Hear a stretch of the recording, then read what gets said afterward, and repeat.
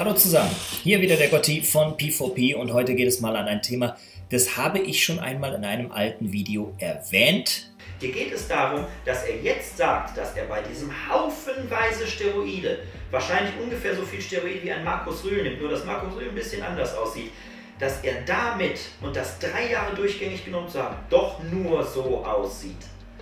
Und er sagt jetzt, tja, da habe ich mich wohl scheiße ernährt. Das, was ich hier gerade sehe, das, was du in den drei Jahren aufgebaut hast, und jetzt sind wir beim Klartext, das hättest du auch mit der Hälfte des Stoffes hinbekommen, Digga.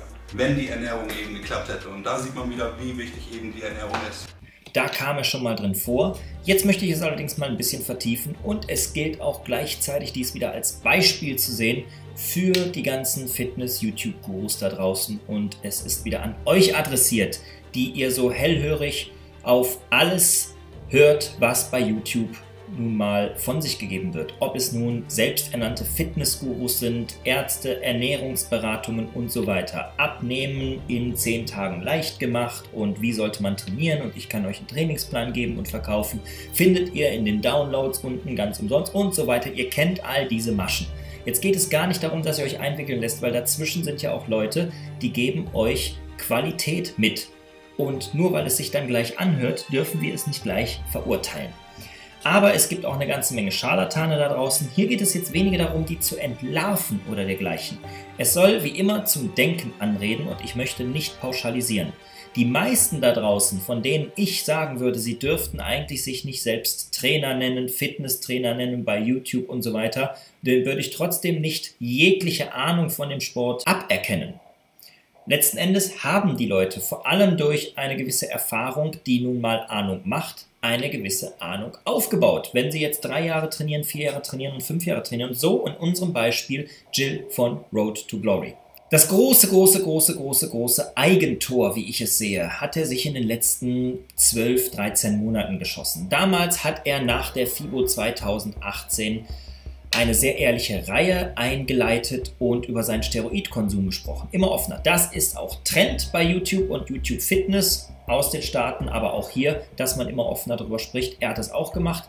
Und ich will jetzt weniger darauf eingehen, ist es wahr und, und wiefern ist das nur wieder, um die Klickzahlen zu steigern und so weiter. Es geht hier um ganz andere Dinge. Die Kurzgeschichte ist, er hat ein Jahr lang dann keinen Stoff genommen und zur nächsten FIBO seinen neuen Körper präsentiert. Allerdings muskulöser, ah, vielleicht nicht muskulöser, aber in einer besseren Form. Sowohl seine Coaches als auch da draußen sagten alle, okay, es sieht jetzt besser aus. Und er ist immer noch ein ziemlicher Brocken und vom Gewicht ist es jetzt nicht so viel weniger. Und dann fragt man sich natürlich, a, wie hat er das geschafft? Aber genau diese Frage will er natürlich erzielen, beziehungsweise könnte man erzielen wollen, wenn man das als Marketingstrategie sieht. Auch hier, ich will ihm wieder nicht irgendetwas in den Mund legen. Es kann sein, dass er die Person ist, die das alles nur ernst meint. Trotzdem rede ich jetzt aus der Sicht eines Rezipienten, der quasi das Ganze jetzt von außen aufnimmt. Was könnte das also bedeuten? Wenn jemand also ohne Stoff, und wir reden hier von jemandem, um das nochmal klarzustellen, der vorher nicht einfach mal eine kleine Kur gemacht hat oder so, der hat sich über einen Zeitraum von, soweit ich weiß, drei Jahren ziemlich zugeballert und ist damit ja auch offen umgegangen. Hat immer wieder gesagt, dass er ziemlich krass Stoff konsumiert hat. Besonders in diesem Video hier sieht man es ganz besonders, dass er ja klar macht, ich habe viel konsumiert und ich habe krasse Kuren konsumiert. Fakt ist, ich habe meinen Stoffplan eben gerade ausgepackt und alle drei haben die Hände über den Kopf zusammengeschaltet. Aber wir haben heute festgestellt, dass was manche da machen, das ist äh, knapp vom Selbstmord. Jetzt setzt er das Ganze ab und es ist nicht nur so, dass er nicht zusammenschrumpft, und auf einmal nicht mehr wiederzuerkennen ist und nie wieder an die gerippten Zeiten rankommt. Nein, seine Form verbessert sich zur nächsten FIBO. Mit dabei von Stunde 1 neue Coaches. Ja, das macht einen natürlich misstrauisch. Also auch da, ich kann nicht sagen, das ist da eindeutig Betrug, aber es macht doch misstrauisch das Ganze. Und was bleibt uns jetzt übrig von außen? Zu denken, es gibt zwei Möglichkeiten. Die eine ist, das Ganze ist Betrug. Er hat anderen Stoffen genommen, nimmt, nimmt oder hat nie damit aufgehört, fälscht das Ganze, macht das Ganze natürlich auch aus Marketinggründen, kriegt dadurch mehr Klicks und so weiter, ähm, aber ist im Prinzip auch alles wieder nur Illusion. Kann sein. Möchte ich aber auch hier gar nicht näher drauf eingehen. denn ich möchte ihm jetzt einfach mal aus Prinzip, weil wir uns um was ganz anderes kümmern, den Glauben schenken. Also gehen wir davon aus, er betrügt nicht. Und es ist alles wahr. Was hat das dann für Konsequenzen?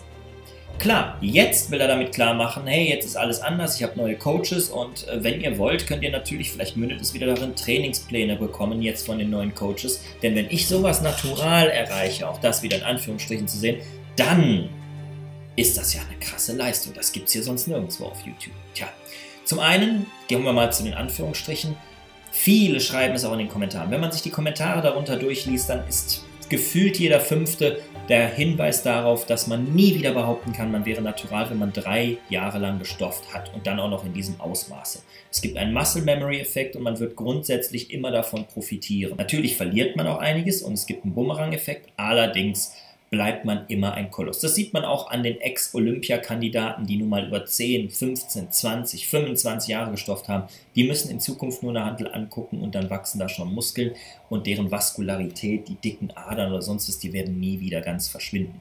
Das sind immer noch ziemliche Brocken, auch wenn sie dann gerade am unteren Limit sind. Abgesehen davon ist es aber ansonsten ein ziemliches Eigentum. Man muss sich jetzt mal vorstellen, dass der Junge über Jahre eine Expertise auf YouTube aufgebaut hat. Er hat Trainingspläne verkauft, er hat sein Wissen weitergegeben. In jedem Video hat er gesagt, wie man trainiert, wie man an Maschinen trainiert, wie er trainiert, über Trainingspläne gesprochen, über Proteinkonsum, wie das alle Fitness-YouTuber da draußen machen.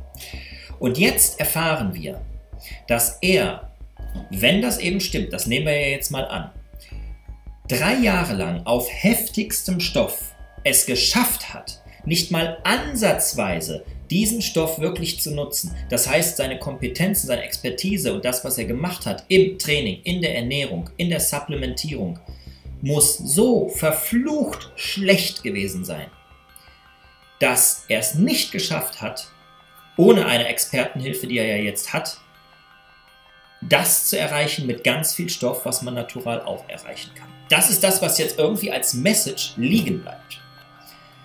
Er selbst geht jetzt ganz, ganz, ganz weit damit nach vorne, dass er das Ganze jetzt eben natural geschafft hat, das zu halten. Und das ist so das, das neue Ding dann eben. Ne? Seine Form sogar verbessert. Aber im Prinzip müsste uns das doch jetzt eine Riesenlehre sein da draußen. Wenn jemand, und wir, setzen hier eins voraus, ja, also es ist nicht die Message, seht ihr, Stoff wirkt gar nicht, das ist nur Humbug. Das ist, das ist totaler Blödsinn, das ist auch erwiesener Blödsinn. Ich glaube, keinen gibt es mehr da draußen, der nicht an Stoff glaubt. Da gibt es auch nichts zu glauben, das ist einfach ein medizinischer Fakt. Wenn du das Zeug in dir reinballerst, dann hat das diesen Nebeneffekt, das ist eigentlich nur ein Ebeneffekt, dass du Muskeln im Schlaf aufbaust. Wortwörtlich natürlich. Du setzt einen Trainingsreiz und explodierst. Das passiert. Das passiert nicht bei jedem gleichermaßen. Es gibt nicht so viele Ronnie Colemans und Markus Rühl auf der Welt, obwohl die alle Stoff nehmen, eine ganze Menge. Aber jeder jeder wird überdurchschnittlich mutieren.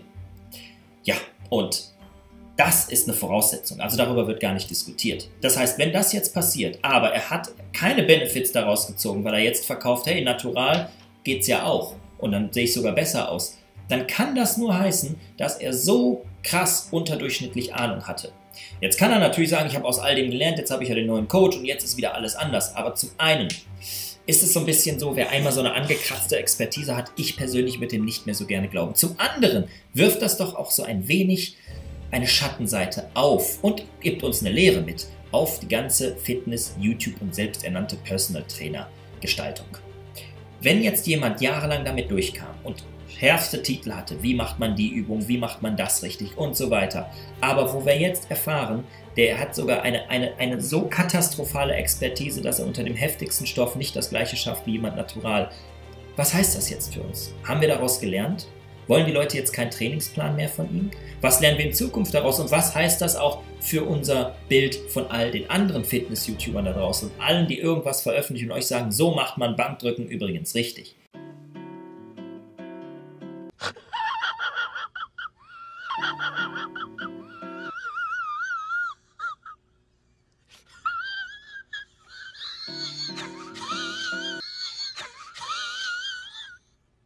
Wann glaubt ihr jemanden und wann nicht?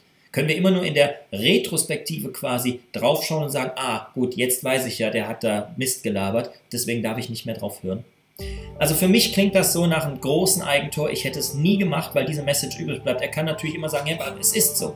Ich freue mich natürlich selbst darüber irgendwo, dass das so passiert ist. Ich habe selbst damit nicht gerechnet, aber das ist, das ist, es geht hier gar nicht um eine Anklage von ihm, sondern es kann ja auch sein, dass das jetzt ein blöder Nebeneffekt ist, aber es wirft zumindest dieses Licht auf seine Expertise, die er vorher drei Jahre lang mindestens bei YouTube hatte. Und die gibt einen zum Denken natürlich für andere Sachen und ich muss auch sagen, ja, natürlich auch bei ihm wenn er so furchtbar schlecht war von der Ernährung, dass er es nicht einmal schafft, mit Stoff das zu erreichen, was man natural auch sonst erreicht oder ansatzweise, dass, wenn er jetzt einen Coach hat, hey, warum überhaupt noch auf ihn hören, auf seine alten Videos hören? Eigentlich müsste er konsequent sein, alles, alles aus dem Netz nehmen, was er jemals empfohlen hat. Nun ja, ich hoffe, dieser kleine Meinungsbeitrag gibt euch mal ein wenig zu denken zu überdenken, wenn es grundsätzlich um Social Media und Fitness und Fitness YouTube geht. Wenn euch solche kurzen Statements gefallen, dann lasst es mich wissen. Wie immer, genau, der, abonnieren und so weiter. Und dann gibt es auch noch ein paar andere davon. Vielen Dank und bis bald. Macht's gut, euer Gott.